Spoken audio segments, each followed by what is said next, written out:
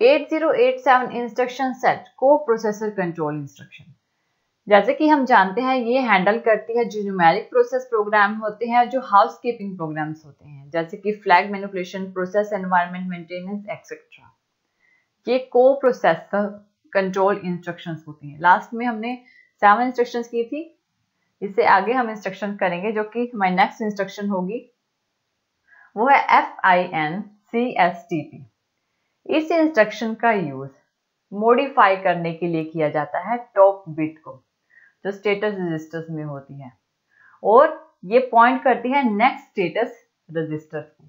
यानी अगर top bit zero zero zero है तो स्टॉक जो हमारा स्टैक टॉप होगा, वो एस टी ज़ीरो रहेगा।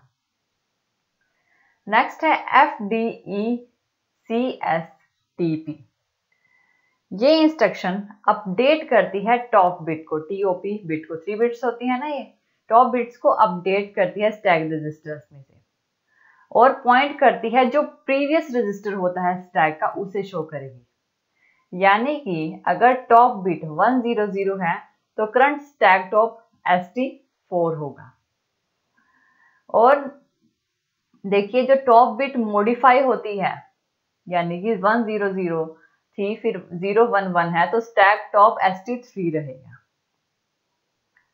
नेक्स्ट है F F R W F three ये इंस्ट्रक्शन मार्क करेगी टैग फ़ील्ड को। जो भी ओपरेंट्स टैग रजिस्टर के टैग फ़ील्ड होंगे, उन्हें मार्क करेगी और उन्हें एम्प्टी करेगी। नेक्स्ट है एफ़ नोप ये इंस्ट्रक्शन नोप इंस्ट्रक्शन जो होती है को प्रोसेसर की, उसे शो करेगी। कोई भी इंटरनल स्टेटस जो होगा और कंट्रोल फ्लैग बिट्स चेंज होगी तो उसमें कोई भी चेंज नहीं होने देगी। ये जो इंस्ट्रक्शन होती है, इसमें 16 क्लॉक साइकिल्स की ज़रूरत होती है इस इंस्ट्रक्शन को एग्जीक्यूट करने के लिए। नेक्स्ट है F wait F W A I T इस इंस्ट्रक्शन का यूज़ 8087 को यानी बिज़ी पिन की तरह यूज़ किया जाता है। ये इंस्ट्रक्शन यूज़ होती है 8087 के लिए। 8086 को ये सिग्नल देती है कि 8086 वेट करे क्योंकि 8087 अपना टास्क कर रहा है करंट ऑपरेशन परफॉर्म कर रहा है। तो 8087 को एक बिज़ी सिग्नल देगी।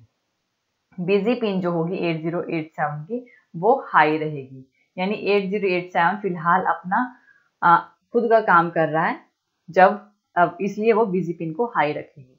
और जब वो एट ज़ीरो एट सिक्स का काम करने के लिए रेडी हो जाएगा तो फिर क्या करेगी? फिर सिग्नल प्रोवाइड करेगी होस्ट सीपीयू को, जब वो एग्जीक्यूशन के लिए रेडी होगी। अदरवाइज़ बिज़ी रहेगी जब तक वो अपना काम कर रहा है। नेक्स्ट है F S T E N B ये इंस्ट्रक्शन स्टोर करेगी को प्रोसेसर के एनवायरनमेंट को।